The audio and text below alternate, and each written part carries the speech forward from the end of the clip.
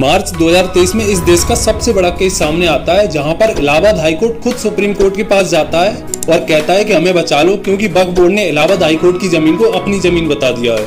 आखिर ये वक्फ बोर्ड है क्या? वक्फ बोर्ड 1964 में कांग्रेस द्वारा एस्टेब्लिश किया गया था। इसके तहत कोई भी मुस्लिम चैरिटी के नाम पर अपनी ज़मीन को वक्फ बोर्ड को दान कर सकता है और साथ ही सेक्शन 85 के तहत वक्फ बोर्ड किसी की भी ज़मीन को ज़बरदस्ती भी क्लेम कर सकता है। और इसके खिलाफ आप सिविल कोर्ट भी नहीं जा सकते। आपको इन्हीं के ट्रिब्यूनल में जाना पड़ेगा, जहाँ पर डिसीज़न लेने के लिए सारे मेंबर्स मुस्लिम ही होंगे। जहाँ पर 2009 में वक्फ बोर्ड के पास सिर्फ़ चार लाख एकड़ ज़मीन थी, वो आज की तारीख में बढ़कर साढ़े आठ लाख एकड़ हो गई है।